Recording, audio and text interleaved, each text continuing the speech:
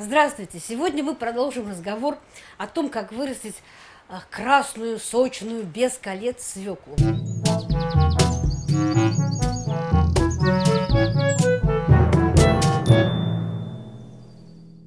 Вообще свекла очень требовательная культура. Уже я говорила о том, что свекле нужно хорошее освещение, солнечное место, рыхлая почва, чтобы не было застоя воды, чтобы свекла не попала под заморозок. Если свекла попадает под заморозок, вот это вот может э, понижение температуры может спровоцировать цветущность свеклы.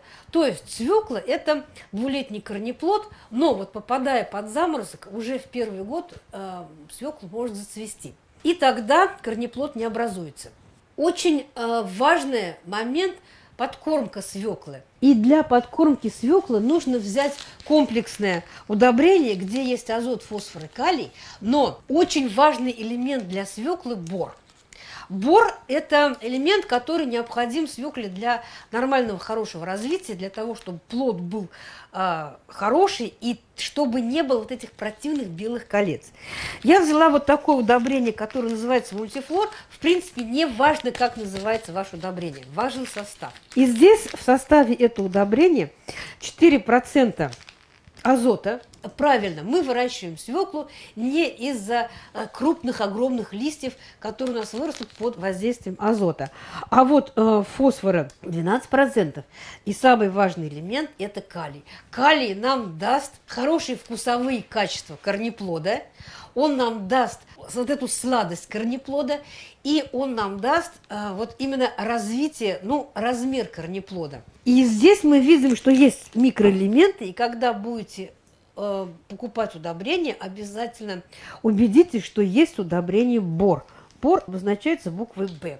И хотя он здесь, вот здесь 0,02%, но он обязательно должен присутствовать. Если вы уже подкормили э, свеклу комплексным удобрением, а бора нет, то тогда можно взять борную кислоту, развести так, как рекомендует производитель, на пакете все это указано, и вот этим э, раствором можно как полить, так и опрыснуть по листу свеклу. Опрыскивание даже э, предпочтительнее полива. И вот э, бором можно свеклу удобрять два раза за сезон. Сначала у свеклы не будет завязываться корнеплода. Вот начальная э, фаза роста свеклы – это наращивание листовой массы.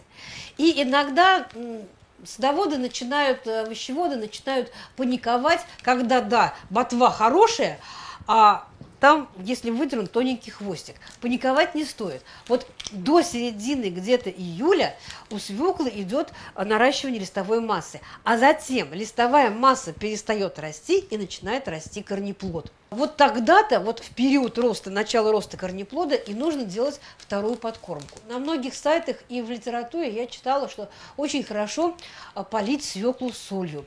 Я вообще противник внесения поваренной соли в землю, потому что э, поваренная соль распадается на натрий и хлор, из которых она, собственно говоря, состоит.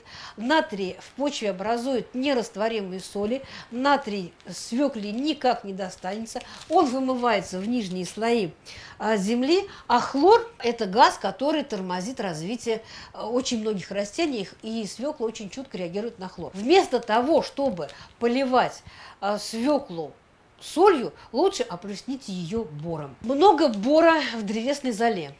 И если э, вот внести сейчас древесную золу между свеклы, то ну, пройдет какое-то время, э, пока бор станет доступным для свеклы. Внесение древесной золы имеет э, место когда вы осенью готовите грядку. И вообще вот для свеклы грядку лучше готовить с осени. Свекла очень требовательна к питательным веществам, поэтому грядку готовить нужно основательно заправив ее питательными веществами, а, то есть азотом, фосфором, калий, навоз не нужен, только перегной, и вообще свеклу навозом не удобряют. А вот э, внесение золы будет желательно. Вот такие премудрости для того, чтобы вырастить хорошую свеклу. Со свеклой надо поработать, и тогда вы получите прекрасный урожай, который очень вкусен и который очень полезен. Смотрите наши ролики. Надеюсь, ваш урожай свеклы с нашей помощью вас приятно удивит.